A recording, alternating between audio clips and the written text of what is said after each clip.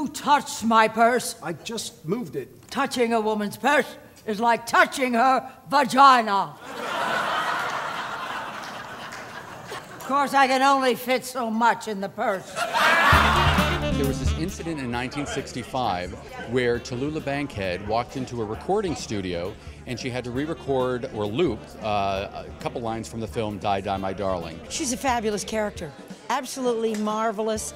Um, every generation thinks they invented bad behavior. She really did. Everybody expects the outrageous Tallulah, and I think the show doesn't disappoint.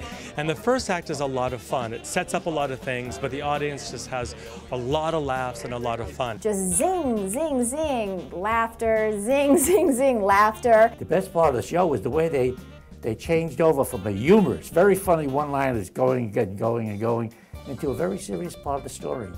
And it just blended in and then broken by the humor again.